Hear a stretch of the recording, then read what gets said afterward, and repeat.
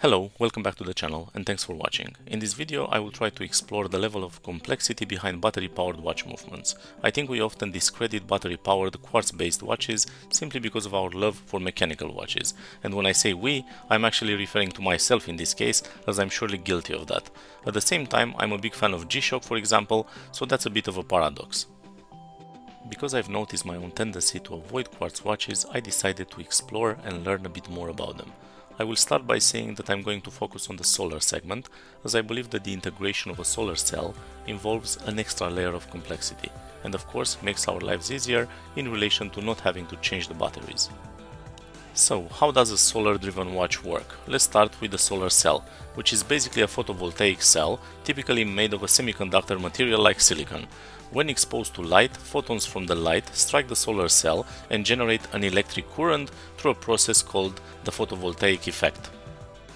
This current is then harnessed for powering the watch. We will of course also have a battery involved, not just any battery, but a rechargeable one. The electrical energy generated by the solar cell is not used directly to power the watch, but is stored in these rechargeable batteries, which are designed to efficiently store and release energy over a long period of time. They often have a high energy density, allowing the watch to operate for extended periods even when not exposed to light.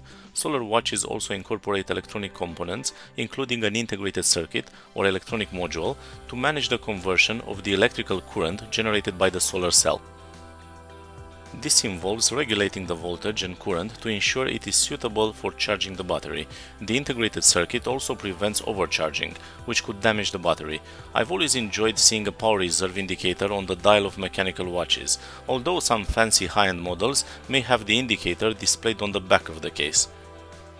You'll be happy to know that some solar watches also feature a power reserve indicator. On most G-Shocks for example, you will notice a display showing low, medium and high charge levels. This feature helps users gauge when the watch needs exposure to light for recharging. Solar watches commonly use quartz-based movements, which rely on the vibrations of a quartz crystal to maintain accurate timekeeping.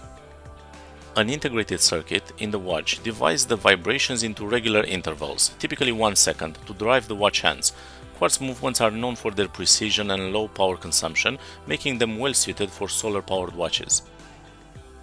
To conclude, it's also worth noting that quartz movements can enable watchmakers to achieve serious innovations.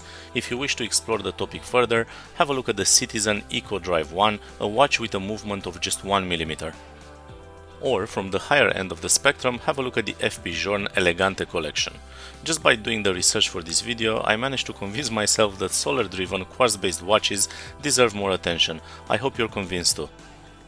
If you found this video useful, please do like and most importantly subscribe to the channel just to make sure you don't miss the next video. All the best!